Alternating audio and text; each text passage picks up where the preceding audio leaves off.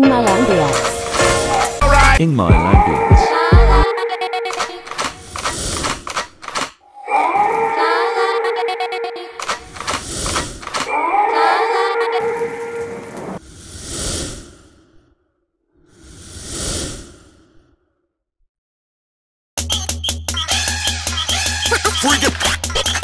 Watch this. Freak